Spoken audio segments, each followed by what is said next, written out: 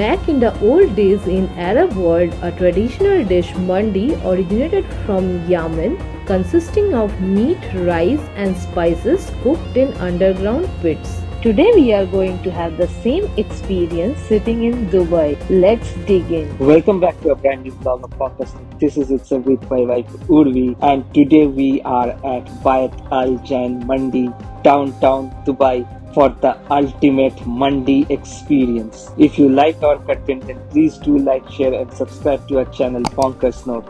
Let's eat, let's get bonkers now.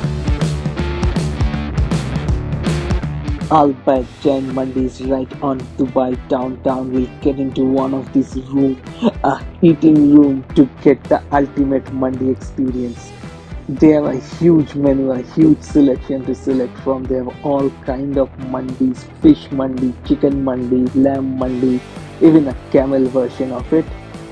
The sitting arrangement of this place is really nice. They have kind of a personal chamber where four people can sit, enjoy sitting on the ground. That's a really nice experience.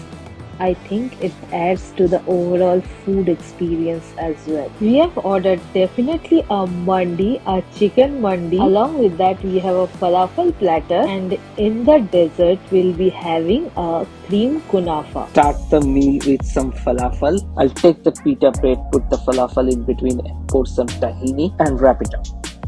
Hmm crunchy falafel inside and along with that tahini and the soft pita bread. Together they make a fantastic combination. This falafel is actually very crispy. The outer crust is very crunchy and they have given so many breads even I think we cannot finish that in four meals. But it's really tasty. I'm really loving it. The falafel is kind of a vegetable fritter. It's a patty made out of chickpeas, herbs, and spices. It's a fantastic start to the meal.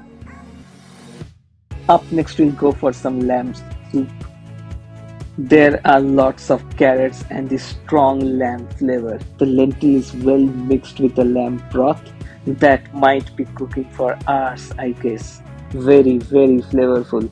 The exact flavor of the lamb is infused in this soup and there is a mixture of spices and herbs. They are providing those high notes. They actually welcomed us with this broth.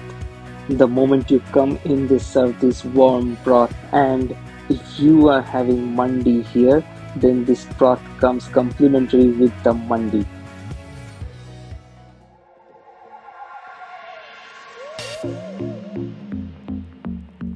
we just poured in the sugar syrup on the kunafa. We just allow the kunafa to settle down in that sugar syrup. Make it more tasty. By the way this is a cream kunafa. It should be that notch up. It's time to go for this mandi. There is actually half a chicken in here. Some aromatic rice and along with that there are crispy onions. I can also spot some cashew and raisins. I think it will be a good one. Let's go for it. It's really tempting. The chicken, it's glazed from outside. I think it's roasted with some skin on it. Definitely worth a try. If you are wondering that how is this mandi different from the biryani that we get in India, then let me tell you the biryani and the mandi, the base is same, the same old good aromatic basmati rice, but the way mandi is cooked is a slight different from biryani. In biryani, the meat and rice is cooked together, whereas in mandi, meat is cooked separately from the rice. Chicken is really slow cooked in its own juices, and then it is placed on the basmati rice. That chicken is really soft. As I can see, it just fell apart when I tried to cut into it. Now let me try out the rice a bit.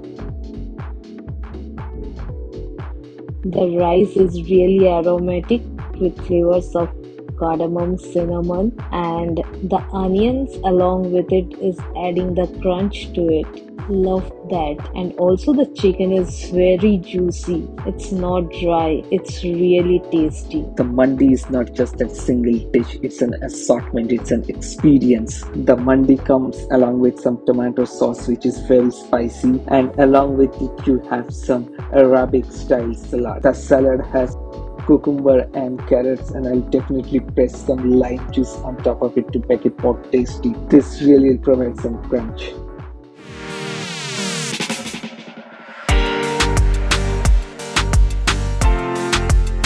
Remember we had set aside that kunafa, well now it's time to have it.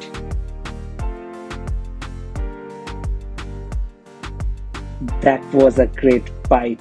Fried vermicelli on the outside and soft milk cheese inside with that sugar syrup. This is more tasty. They have some pistachio spread all over that kunafa. We had a huge spread of lunch and the mandi was absolutely amazing. I hope you like our video then please do like, share and subscribe to our channel and do follow us for more videos from Dubai. We'll see you in the next one.